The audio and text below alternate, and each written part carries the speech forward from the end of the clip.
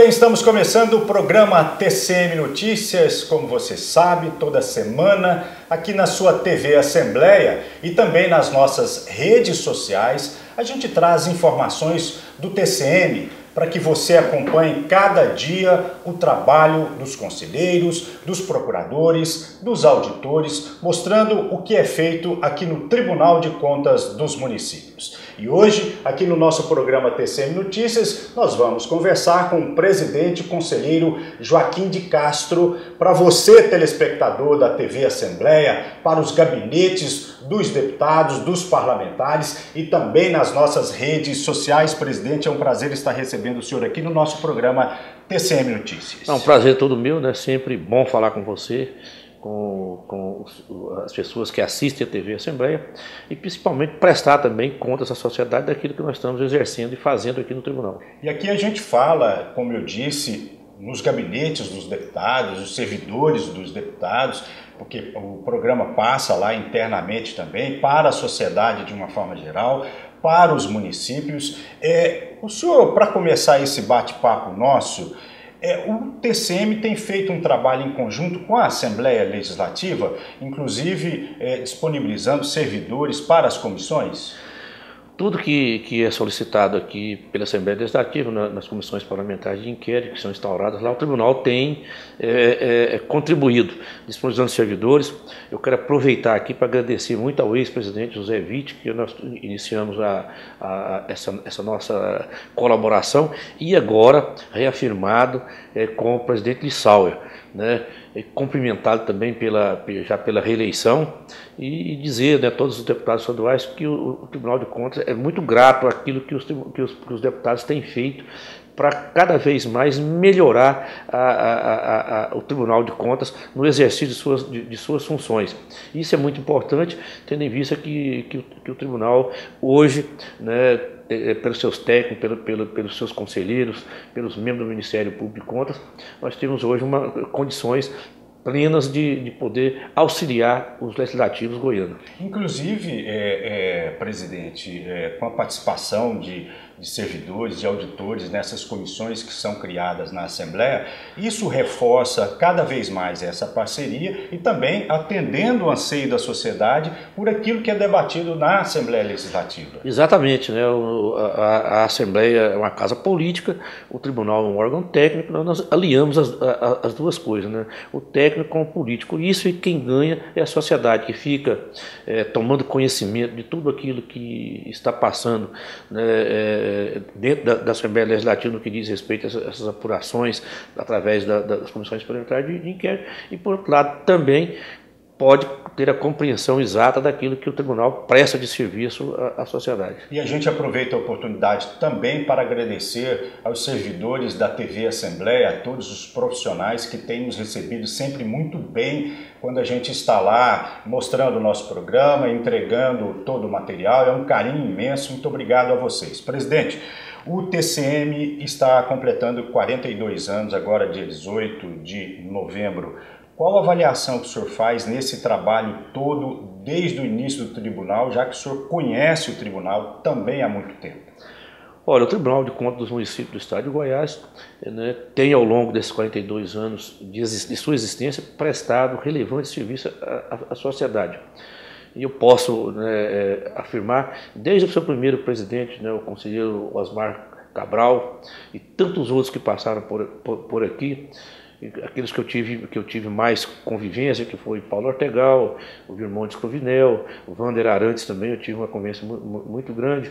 É, é, é, do, o, Josivane, Josivane é, Walter Rodrigues, é, e por último a conselheira Honor Covinel, que não pode deixar, exatamente, que foi quem me acolheu aqui, a conselheira Maria Tereza também, que, que enfim, todos aqueles que passaram por, por aqui prestaram relevante serviço ao tribunal no exercício da presidência. E isso foi fazendo com que o tribunal fosse a cada ano eh, desse, evoluindo cada dia mais. E hoje nós estamos né, já chegando na, na nesses 42 anos, preparando para chegar a, a, aos 50, uhum. né? Então o tribunal tem, tem, tem é, tido uma evolução muito grande no seu serviço. Né? Já estamos avançando a questão do, do processo eletrônico, né? a questão da, da, daquilo, daquilo que foi produzido dentro do tribunal, como tem colar e, colar e licitação, colar e pessoal, mestra e tantas outras ferramentas que nós estamos disponibilizando, não só aos nossos técnicos, aos nossos auditores, mas como também aos gestores, para que eles possam prestar eh, suas contas de, de, de, forma eficaz, rápida e um custo eh, menor do que, do que vem fazendo. A gente sente aqui, trabalhando no Tribunal de Contas dos Municípios, essa preocupação não só do senhor, mas dos conselheiros, de todos os servidores aqui, dos procuradores também, é uma, uma preocupação em orientar as prefeituras, os prefeitos, os servidores. Esse é o caminho? É melhor evitar o erro? Essa semana nós tivemos uma, uma reunião de todos os presidentes do Tribunal, do Tribunal de Contas com o Procurador-Geral da República doutor Augusto Aras, justamente o, que foi, o que a Procuradoria Geral da República está também orientando aos, aos promotores, aos procuradores de justiça, é justamente nesse sentido, para que eles possam fazer o trabalho preventivo. E os tribunais de contas não está sendo diferente. O que nós estamos fazendo aqui é justamente auxiliar de forma bastante presente aos gestores para que ele possa errar menos. E é muito, muito, muito mais compreensível e, e econômico você é, é, coibir qualquer irregularidade no início do que ela, ela acontecer para anos depois você querer ressarcir a, a, a, os cofres públicos ou mesmo a, sociedade é, por, por, por, por, dinheiro desviado por uma obra que foi feita de forma irregular. Então, o, que o tribunal tem feito nesse tempo, nesses anos todos, é justamente esse é um trabalho de prevenção. De prevenção. Isso aí vem com os encontros regionais, isso vem com o as audiências que são tidas aqui com todos os conselheiros que estão abertos para receber o gestor, o Ministério Público, os nossos secretários e auditores que recebem diariamente aqui gestores para prestar essa colaboração, essa orientação. E isso tem, tem dado um, um ganho muito grande na, na qualidade da, da, da, da, gestão pública. Então isso é importante, esse trabalho que o tribunal está fazendo, não pode prescindir dele. Uhum, porque a preocupação principal do Tribunal de Contas dos municípios é, é que lá na ponta tenha uma gestão de qualidade, uma gestão eficiente que possa atender o cidadão da melhor forma possível. É. Hoje o Estado brasileiro, todos nós sabemos, é, é muito caro o custo e não, e, e não estamos prestando uh, o serviço de qualidade. Então, o que o, que o Tribunal de Contas quer é justamente nesse sentido, que o dinheiro que está sendo investido lá na comunidade, que ele seja é, é, tenha uma chegue quanto antes a, a, a, em benefício a essa mesma comunidade. Então, isso que o tribunal tá, quer e deseja, que todo administrador público também deseja justamente isso, fazer com que a eficiência nesse, nesse gasto ela seja presente e isso fazendo com que a sociedade possa sentir que está havendo melhoria no, no serviço público e que ele tenha qualidade e permanência também. Presidente, nós vamos para um intervalo, daqui a pouco nós estaremos de volta, vamos continuar conversando com o presidente conselheiro Joaquim de Castro, inclusive com um congresso internacional de tribunais que vai acontecer aqui no Brasil, daqui a pouco nós estaremos de volta e vamos continuar falando deste trabalho do TCM de aproximar cada vez mais do cidadão. Em instantes, nós estamos de volta.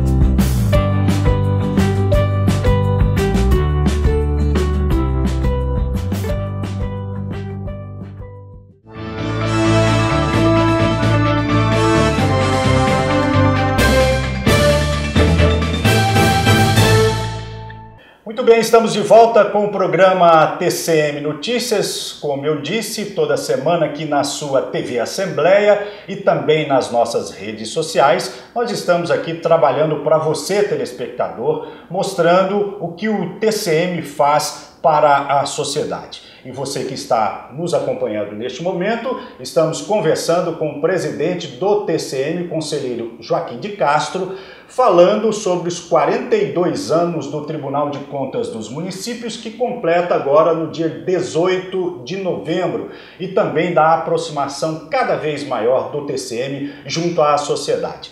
Presidente, agora no dia 11 ao dia 14, o senhor participa em Foz do Iguaçu do primeiro Congresso Internacional de Tribunais de Contas né, internacional de todo mundo e tal, essa discussão é, é preciso cada vez mais trabalhar em conjunto os tribunais?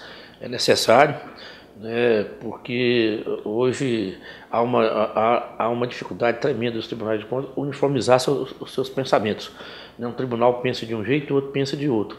Então, esses congressos, justamente nesse sentido, para que os tribunais tenham uma interação maior e que possa cada vez mais convergir nos seus entendimentos.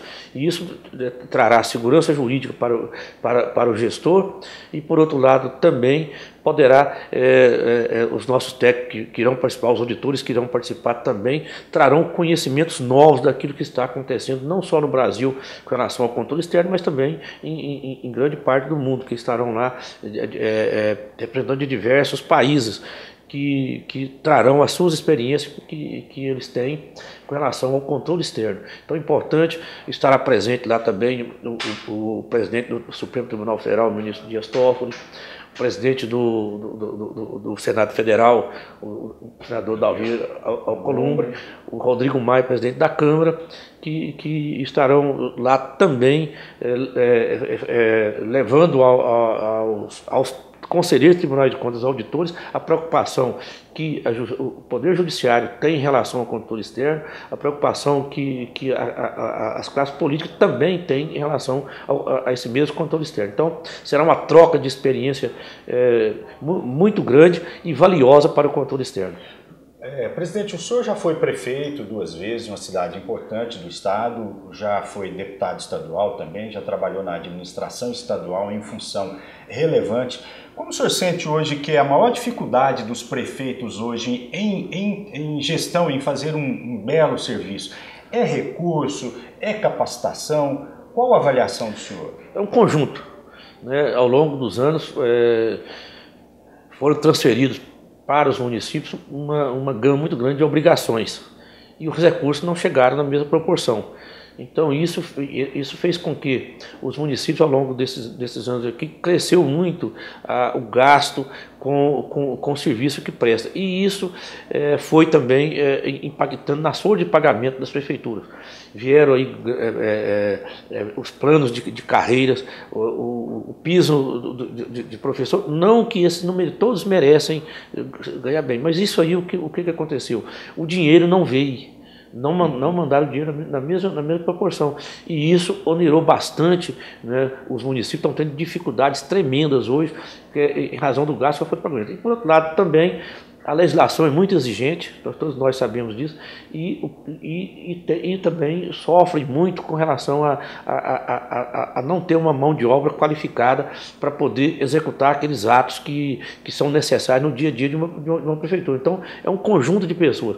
Por isso que o tribunal tem é, disponibilizado aos gestores constantemente capacitação, para que ele possa cada vez mais é, saber o que, que ele está fazendo, de que forma com que ele, que, que ele pode fazer também. O, a questão de gestão de pessoal, de, de investimento, como o senhor disse aí, é, é, na contratação, é, essa, esse volume de recurso que se paga para manter servidor, com todo respeito ao servidor, é o grande gargalo hoje da gestão hoje é, municipal? Hoje é, porque hoje, hoje é, praticamente né, grande parte dos municípios, hoje não só em Goiás, mas no Brasil todo, né, está praticamente ultrapassando o limite de, de 60% de gasto com pessoal. Né? Aqueles que não estão ultrapassando estão ali no, no, no limite prudencial.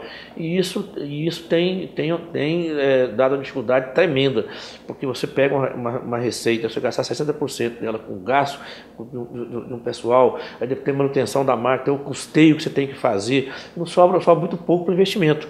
Então é preciso é, reduzir é, é, é, de forma assustadora a questão de folha de pagamento. De que forma? Não, a gente não, não, não, não sei, reduzindo no primeiro número de comissionados, tem, tem né, que tiver em excessos comissionados, reduzir, fazer com que os planos de carreira seja feito de forma sustentável, que possa o município também pagar. Então essas crises que, que nós estamos vivenciando hoje, ela é, é decorrente de, de, de, uma série de, de, de eventos que foram é, desaguando nisso. Não é que só o servidor público também, não. O servidor público, público é, uma parce, é uma parte dessa, dessa, dessa, desses eventos. Agora, tem tantos outros eventos, o desperdício, é muito grande o desperdício na, na, na, administração pública.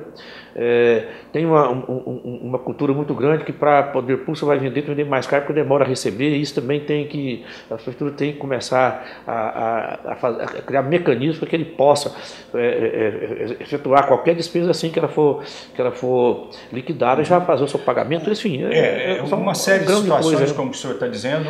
É por isso que é a preocupação do Tribunal de Contas dos Municípios de criar plataformas para ajudar nessa gestão. Criou, por exemplo, o colar de licitações e contratos, que é uma situação que acompanha no dia a dia aquilo que está sendo é, feito lá no município, e vai entrar com um colar pessoal, quer dizer, receber essas informações mais imediatas? Exatamente, porque é o seguinte, com, com essas duas ferramentas, tanto o colar de licitação como o colar pessoal, o que, que acontece? É o dia a dia da prefeitura que vai, que vai, é, é, vai estar à disposição de qualquer servidor público, qualquer gestor. E isso principalmente com os todos os dados. Amanhã ou depois o gestor deixa a prefeitura, ele, ele tem nesse, nesse colar, a qualquer é, hora que quiser, todas as informações de, de sua administração. E o servidor público também, por outro lado, ele vai ter armazenado ali toda a sua vida funcional. Então, na hora que ele vai se aposentar, não vai ter que ficar procurando lei, cadê a lei que, que incorporou isso, cadê a lei que deu aquela gratificação naquela época, época, vai estar tudo já informado ao tribunal e isso vai agilizar muitos processos de aposentadoria. Em relação às licitações e as compras que a prefeitura faz, justamente nesse sentido. Todas as informações aqui no tribunal, o tribunal vai, pode alertar, olha, você, você, eh, você, você está, está fazendo compra sem fazer licitação. Então, um item está o errado. O item está errado. Olha, corrija aqui, olha, você fez esse, essa compra aqui, não é dessa, dessa maneira. Então, tudo isso aí vai facilitar a gestão, para melhorar a qualidade da gestão pública no, no, município. Inclusive, a gente tem colocado aqui no nosso programa TCM Notícias, você tem nos acompanhado, telespectador, essas reportagens e também entrevistas aqui sobre o Colare, é, sobre o passaporte, que são mecanismos desenvolvidos pelo Tribunal de Contas dos Municípios para facilitar a vida da administração. E facilitando a vida da, da administração, acompanhando, também está facilitando a vida do cidadão. o Congresso Nacional está se discutindo, nós estamos terminando nosso programa, passa muito rápido, 20 minutos quase, a reforma de, eh, do Pacto Federativo que poderia ser é, tirar municípios, reduzir municípios. O senhor acha que isso é o caminho? Olha, a questão de extinção de, de, extinção de município, eu acho que não é o caminho. Tem outras, outras, outras formas. Porque é o seguinte, vai extinguir o município, a comunidade vai continuar morando naquela, naquele, naquele local. As mesmas e tendo as necessidades. necessidades, vai só dificultar para. O que, o que, que precisa, que precisa, acho que nessas PECs aí, reduzir o custo da administração desses pequenos municípios. Limita questão de, pode, como exemplo, se tiver achando que está excesso o número de vereadores, a Câmara reduz o número de vereadores, é, é, limita o número de secretarias em prefeituras, quer dizer, tem tanta forma que você pode fazer. Ajuda e estimula. A, a aumentar a, então, a, a, receita. a, receita. Não, estimula esses municípios que, que são pequenos ali, próximos ali, a criar, a, fazer compras compartilhadas, uhum. formar consórcio entre eles ali, de saúde, de educação, enfim, aquilo que, a expertise Então, eu acho que a, a extinção é, é, não é o caminho. Né? Os, esses, os, os, pequenos municípios, municípios têm condição de, de, de, de muito bem de, colaborar é, com, essa, com, essa, com essa crise fiscal que estamos vivendo mas com a sua permanência e sua existência. É lógico, evidente que eles precisam, precisam como a lei, tá, a, a, o projeto dá um prazo até 2023 para que o município possa aumentar suas arrecadações. Então tem que haver também uma conscientização da própria população que deve é, pagar os seus tributos e seus impostos para que o município possa é, sobreviver de maneira é, bastante equilibrada. Muito bem, nós falamos com o presidente conselheiro Joaquim de Castro aqui no nosso programa TCM Notícias, desses 42 anos de TCM, e eu, nesses três anos que estou aqui, sou testemunha da revolução que o presidente tem feito juntamente com os conselheiros, os procuradores e os servidores aqui da casa em mudar a ótica do TCM, em orientar, em qualificar em melhorar as gestões municipais. Presidente, muito obrigado pela participação do senhor aqui no, TCM Notícias. Quem agradece sou eu, né? quero né, no, é, compartilhar tudo que está sendo feito aqui com todos os membros, todos os conselheiros, membros do Ministério Público e servidores, que têm dado uma colaboração muito, muito grande para o tribunal.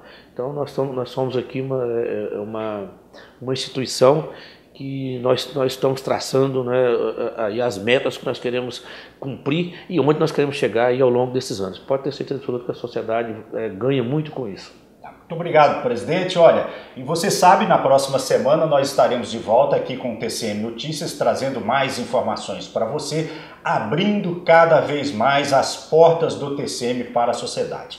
Muito obrigado e até lá.